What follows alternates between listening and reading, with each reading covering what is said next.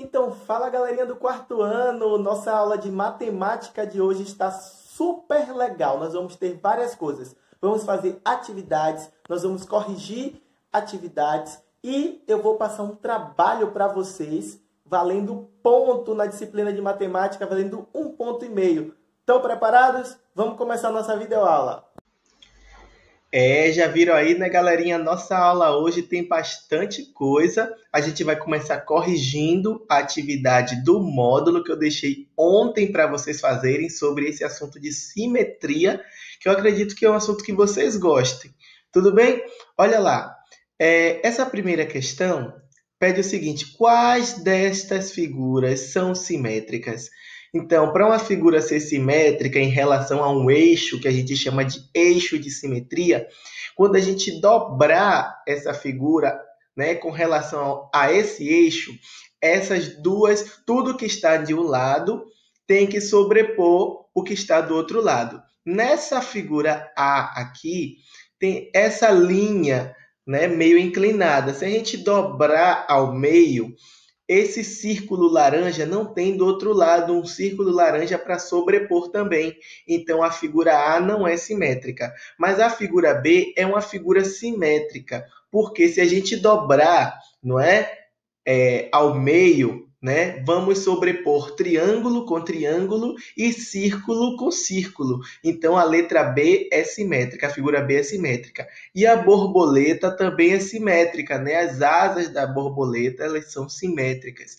Então, quais dessas figuras são simétricas? Quem respondeu que são as figuras B e C acertaram. Deixa eu colocar aqui que são as figuras B e C as figuras B e C. Tá certo? Quem colocou isso aí já está acertando a primeira questão. Questão de número 2. Trace o eixo de simetria nas figuras a seguir. Então, deixa eu pegar aqui uma linha vermelha para traçar o eixo de simetria. Ó, se eu traçar aqui, tá muito grossa essa linha, né? Deixa eu botar uma linha mais fina. O eixo de simetria do coração está aqui, ó. Tá vendo? Quem traçou aí acertou. O eixo de simetria aqui dessa carinha, eu vou colocar aqui bem no meio, porque se eu dobrar, uma parte vai sobrepor a outra, tá certo? E a dessa seta aqui é no sentido horizontal, tá certo? Então vejam se vocês acertaram essa questão 2. Vamos corrigir a questão de número 3. Complete a pintura de cada desenho a seguir, considerando o traço vermelho como eixo de simetria.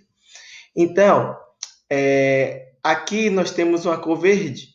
Vamos colocar uma cor verde aqui, aqui, aqui, né? Porque elas vão sobrepor. Tem esse negócio da conquista aqui que está me atrapalhando, mas eu vou pintar mesmo assim tá certo? Nós vamos, vejam se vocês pintaram essa região de verde, aí de amarelo nós vamos pintar esses quadrados daqui. Olha, vejam se vocês estão acertando. E de que cor é essa? É uma cor bem é um vermelho meio rosa, né? A gente vai pintar Ixi, esse negócio da conquista tá me atrapalhando. Mas eu vou pintar, vou terminar. Calma. Tô pintando. Aqui. Tem um C da conquista que está me atrapalhando. Tem o U.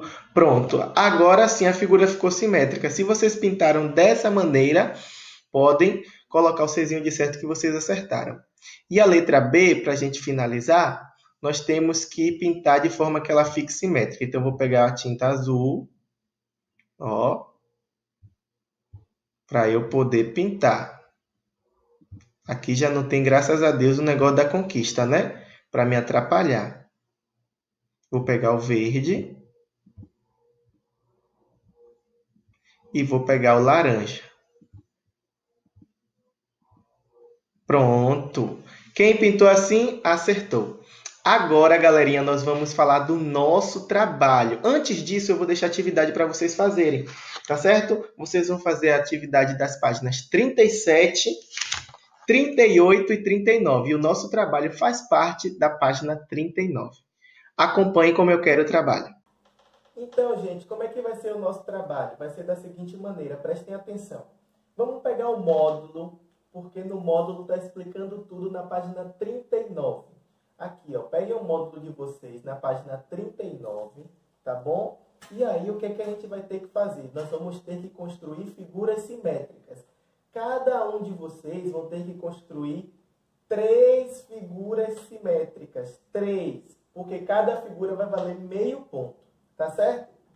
Como é que eu construo, Hugo, três figuras simétricas? Presta atenção. Não vai poder fazer a que eu estou fazendo aqui, tá certo? Você vai pegar uma folha de ofício ou uma folha colorida, tá bom? E dobrar ao meio. Dobre ao meio.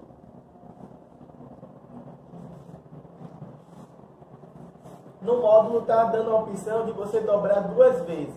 Você pode dobrar uma única vez ou você pode dobrar duas vezes, tá bom? Dobrei ao meio e aí eu vou fazer uma figura simétrica. Esse lado aberto eu não vou fazer nada. Eu vou recortar o meu desenho a partir desse lado de cá. Olha o que eu vou fazer. Vou recortar.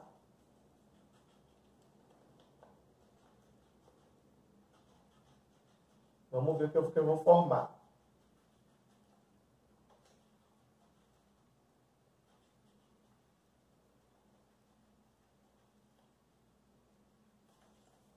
Olha o que eu formei, a minha primeira figura simétrica.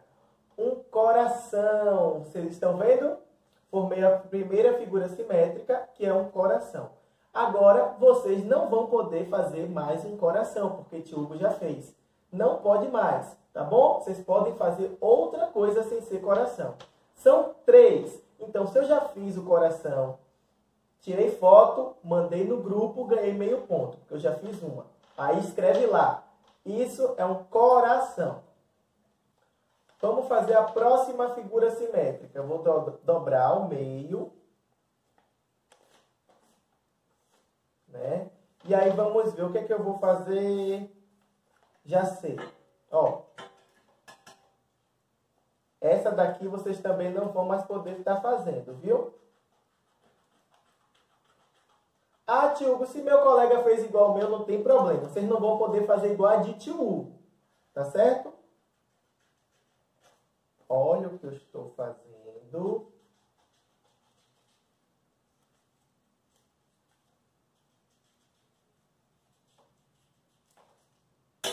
Olha o que eu fiz. Eu fiz o quê? Uma casa. Vocês estão vendo?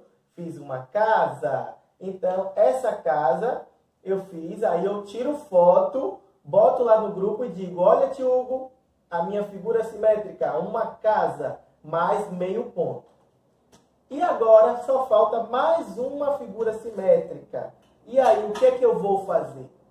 Né? Certo? O que é que eu vou fazer? Tem, olha, tem que ser alguma coisa, alguma figura existente, que a pessoa possa olhar e identifique o que é. Por exemplo, aqui todo mundo identifica que é um coração, aqui todo mundo identifica que é uma casa, não pode ser qualquer coisa. Ah, tio, eu fiz aí uma coisa da imaginação da minha mente. Não, vocês têm que fazer alguma figura de alguma coisa. Eu não vou citar nomes aqui, né, para vocês não...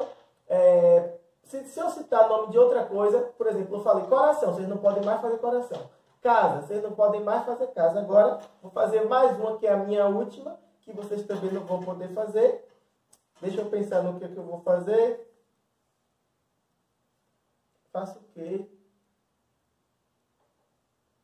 Ah, já sei.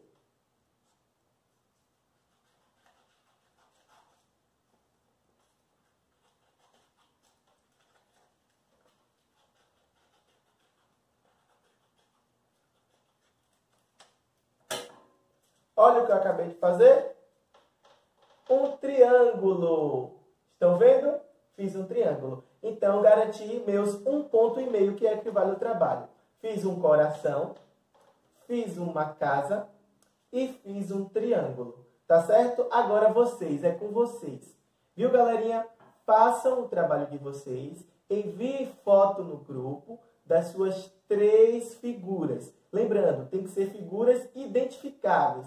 Você não vai poder fazer uma coisa é, que ninguém conheça, tá bom? Tem que ser uma coisa que a gente conhece. Todo mundo conhece um triângulo, todo mundo conhece um coração, todo mundo conhece uma casa. Esses daqui não pode mais, porque eu quero saber se vocês têm criatividade ou não, tá certo?